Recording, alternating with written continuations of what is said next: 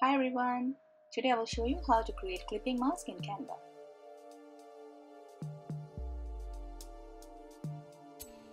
As usual, start by creating your design. Click on it. I will be using my normal custom measurements 4000 by 4000.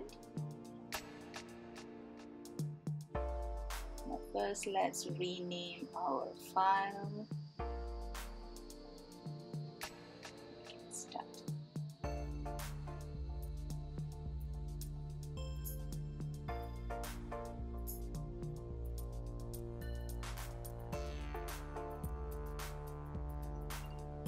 uh, go to the elements tab okay and then type in frames. From here there will be lots of options for you to choose from. Choose something that you like. Okay for example let's just choose something. Okay, scroll up.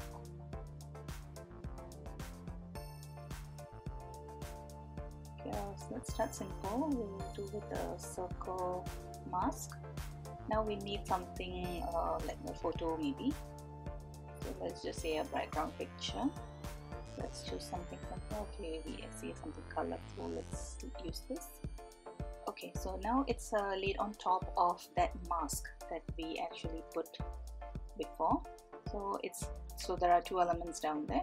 So now we need to put this background inside the mask. So you just move it around and uh, see you can see that it snaps into place.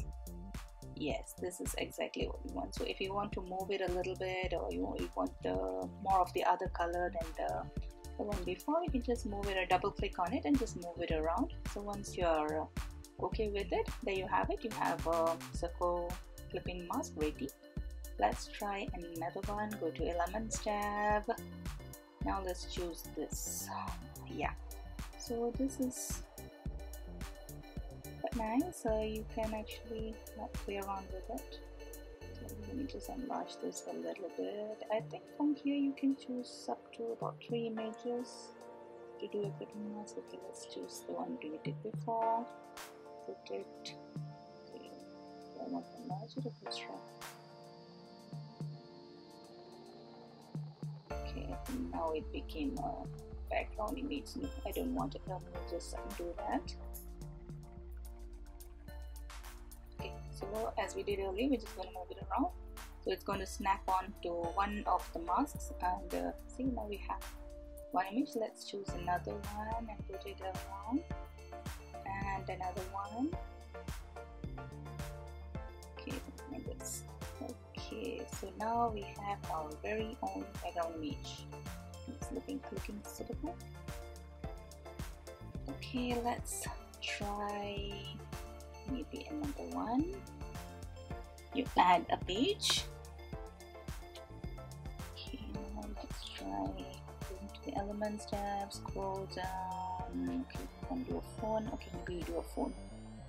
Others this frame? Yeah okay from here you can customize your phone there are so many color options. Just click on any one of them. Change the colors as per your liking.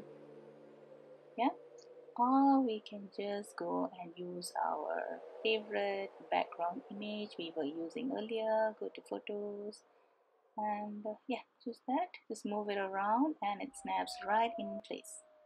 See it's very simple to use canva to do uh, masks. So try uh, try and uh, see what what you need. Okay let's try one last one. Maybe let's choose letter this time. There are letter frames. Or maybe we do a donut. Oh this is very very cool. Okay let's do a donut. It looks it will look super cool. Yeah it looks very very nice. See uh, it's, it's like so simple. You can just play around with it and come up with your very own designs okay I want to try one of the letter frames. Do I see? Oh there is the slice slice effect. Okay uh, remember I uh, if you have been following me then you will know that I have done uh, how to create a slice effect in Canva also in the previous video. But this one is simpler. Maybe you just can use that frame and uh, put the picture and it slice it up right there for you. It's so simple.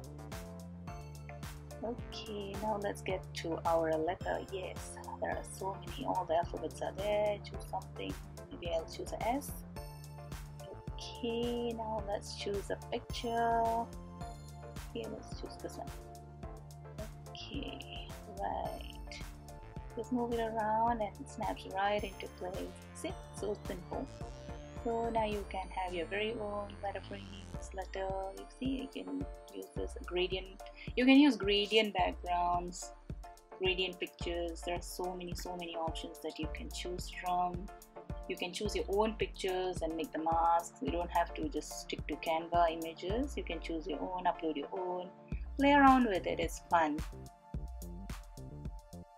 Yeah there are so many. But how do you know what to find? You can just click on the the three dots and see what you need to we can search from. See there's a letter p frame. So if you choose letter p frame you'll be able to see. Uh, in my next video I'll show you how to create clipping mask in Adobe Illustrator. So stay tuned. Bye bye